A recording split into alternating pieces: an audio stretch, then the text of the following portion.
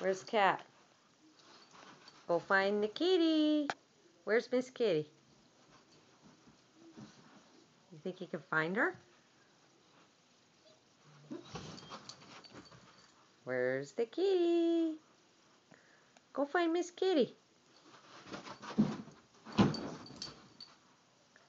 Go find her. Where's Miss Kitty. She's under the bed. Hear her growling? Do you know what that means, Windsor? It won't be fun when somebody gets poked in the eye. You best respect the kitty. Be nice. I know, you're happy to see her. Your little tail's wagging.